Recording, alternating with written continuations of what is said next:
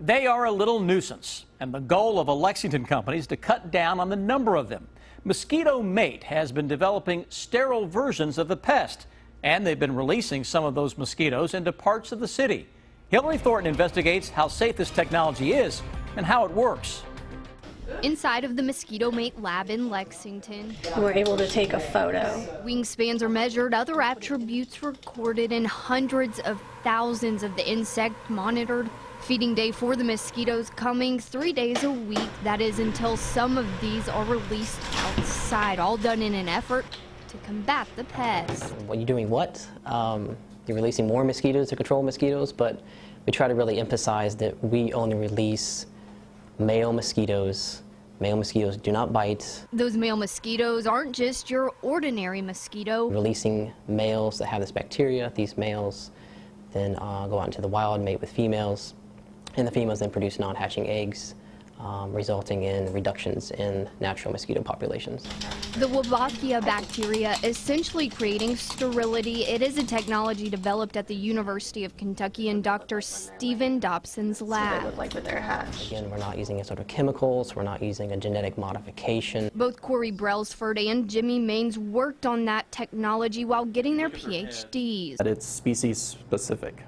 So unlike chemical pesticides that can affect non-targets, uh, things that we see ben as beneficial, so butterflies, honeybees. The incompatible males that we release only target Asian tiger mosquito, mosquito females. And after they mate with those females, they die and cease to persist in the environment. The Asian tiger mosquito, the target of their field test here in Kentucky. A relatively new mosquito species here um, it's our main uh, biting nuisance mosquito species here in Lexington. Releasing thousands of male mosquitoes in the Elizabeth Street area near Commonwealth Stadium over the past couple of summers, leading to an 80% reduction in mosquito density in that area. Really, that's a difference of being able to go into your backyard without really worrying about mosquitoes versus getting 50 bites in a couple hours. Itchy bites being certainly unpleasant. However, the possible effects of the winged nuisance much larger than their bite. Classified as the most dangerous animal species in the world. Um, they're responsible for more deaths than sharks, tigers,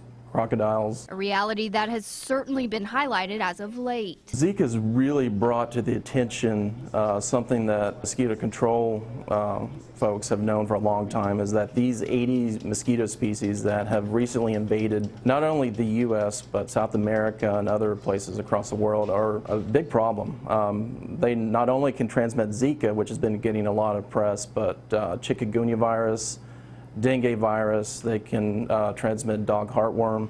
Those concerns paired with success seen in the Lexington trial leading the team to target the yellow fever species, which can transmit Zika and is found in Fresno, California. While there have not been any local transmission cases, there have been travel-related cases of the disease. That's why they're worried about it. It's, it's there. It could potentially happen. Somebody could come back from the Olympics, bring back Zika. The mosquito control district, they're contacting Mosquito Mate here in the Bluegrass State. We are actually shipping male mosquitoes twice a week.